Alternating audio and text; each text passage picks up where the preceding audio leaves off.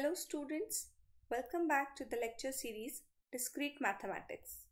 In the previous video, we have already discussed the definition of set and few related terms. In this video, we are going to discuss set representation methods. The first method is roster or enumeration method. In this method, we'll list all the elements of the set explicitly separated by commas and enclosed in curly brackets. For example, all the natural numbers are represented as we write the first few terms and then continue.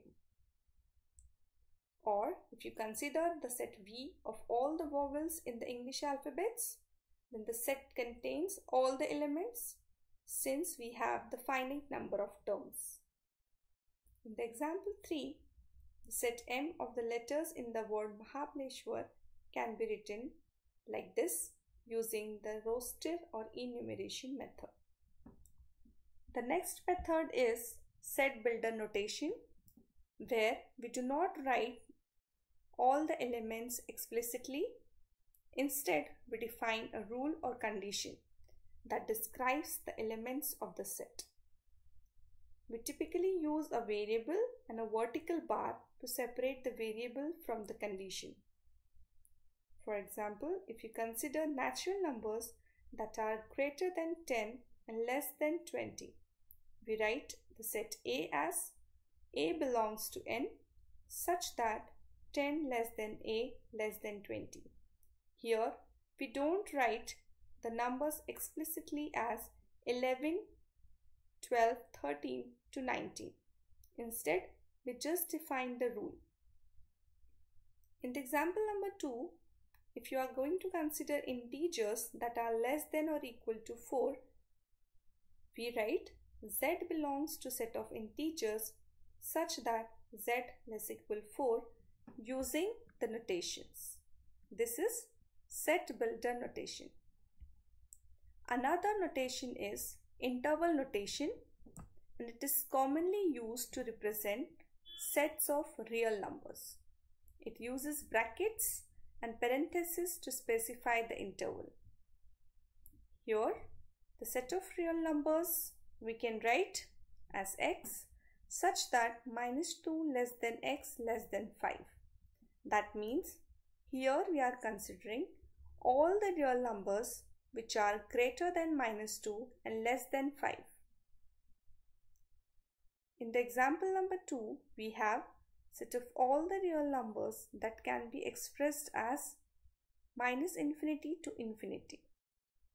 In the example number 3, real numbers greater than or equal to 5 can be expressed as close bracket containing 5 and then till infinity. This is the interval notation where we have open interval close interval or semi-close or semi-open interval. Then we have the Venn diagrams. Venn diagrams are graphical representation of sets, especially useful when working with two or three sets. A large rectangle is used to represent the universal set and it is usually denoted by the symbol E or sometimes U. All the other sets are represented by circles or closed figures within this large rectangle.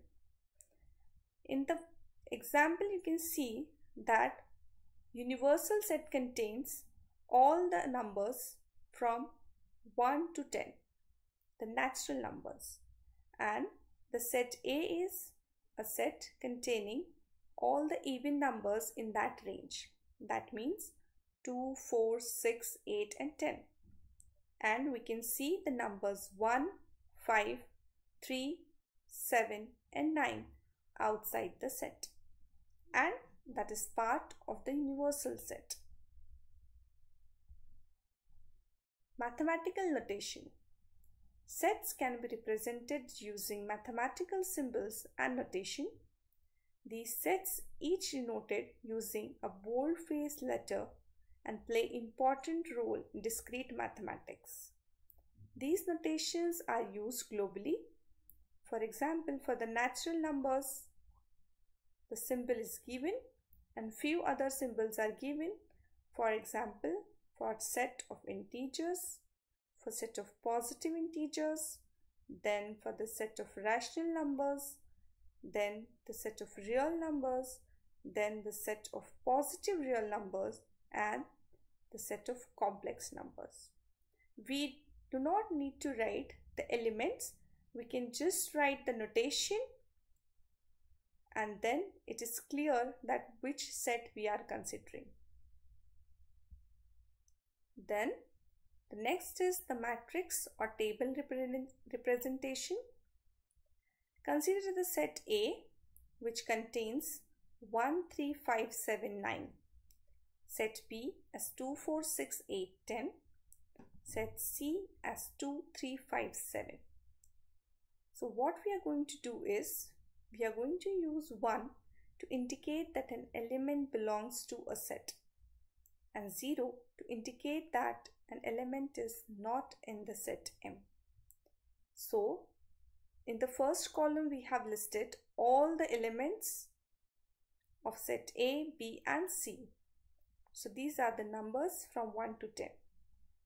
In the next column of set A, we will write 1 if that element belongs to the set A, otherwise 0. So we can see and observe the three column as like this. So this is the table representation where we use membership table to prove equality of the sets. We can see that none of the entries, none of the columns matches and therefore the sets are not equal. Using the same table, we can write the matrix representation of the above set. The vertical arrangement of the set can be written horizontally like a row matrix and therefore the set A is 1 0 1 0 1 0 1 0 and 1 0. So the elements are all the odd numbers. Set B and set C are given for the reference. And we can see that the matrix representation here is used for writing the table representation or we can use the table representation for writing the matrix representation of the above set. This way, we'll stop the video. Thank you.